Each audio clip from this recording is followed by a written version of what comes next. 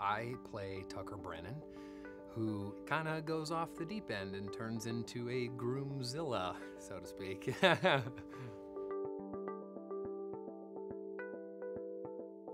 I play Alyssa Rydell, and I've been in a relationship with my boyfriend Tucker for a while, and when he finally proposes, he starts taking the wedding planning to an extreme. I am Tucker's best friend.